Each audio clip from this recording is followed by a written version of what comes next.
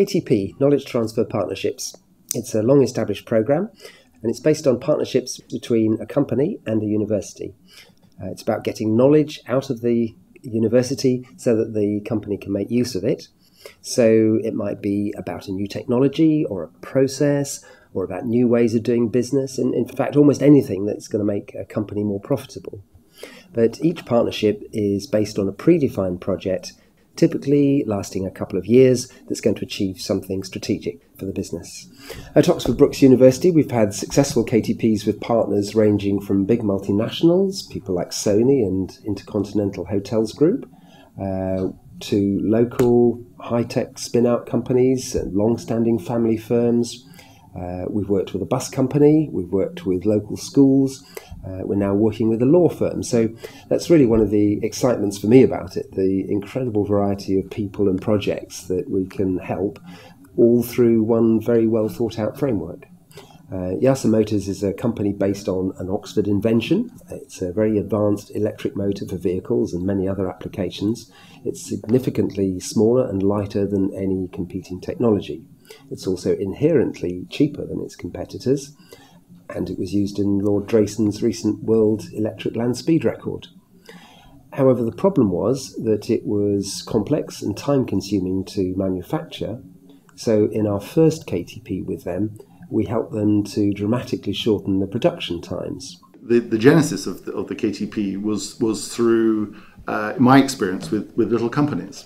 Um, I've worked with uh, both large and small companies who have had KTPs before. Uh, great experience with that. Uh, demands a, a, a, good look at the, uh, the university or the college, wherever one's, one's doing this, uh, to make sure that they are able to do the type of things that the company needs. And then it's important to have a good rapport with the individuals there. And, and James uh, Broughton is a superb uh, character who we got on very well with very uh, immediately.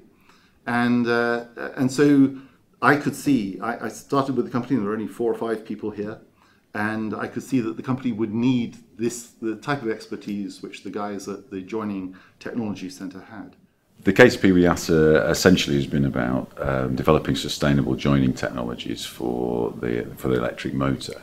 Um, so looking at the uh, the motor is essentially bonded together in, internally, and what we wanted to do was look at how we can improve the bonding um, and obviously develop that for future products.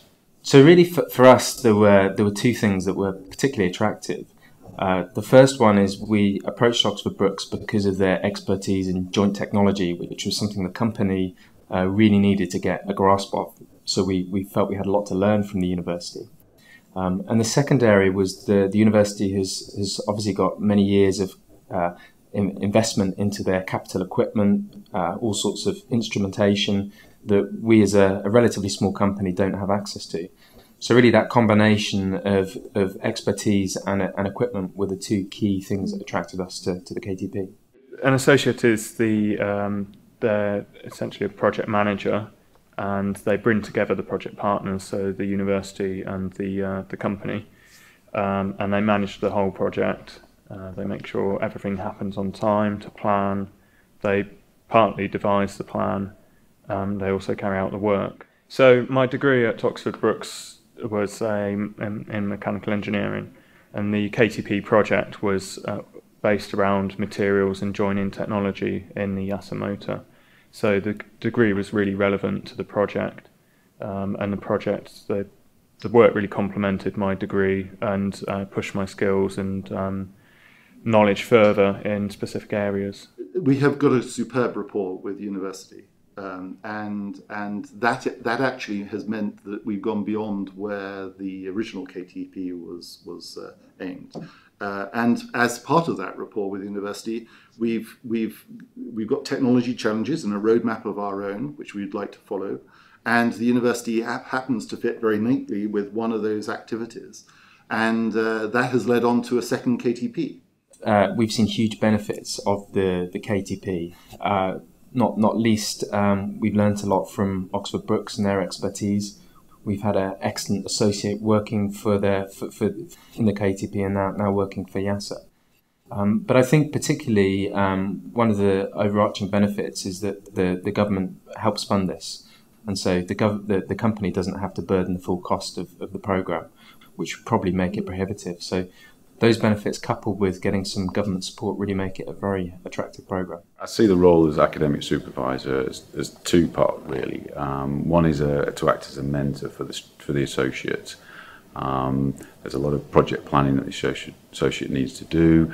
Um, they also need to be able to, apart from planning their time, they also need to get relevant training if that's necessary. Maybe if it's for working on new software or developing skills for uh, lab equipment and, and so forth. So that's kind of a key role. And the other aspect, of course, is technical guidance. So being able to um, deliver the technical aspects of the project, um, access to equipment. Um, they have a full access to uh, the Joining Technology Research Centre's facilities there, so they can he can uh, employ both our staff to help develop um, aspects of the project um, and and also um, also with relevant training be able to use the equipment themselves.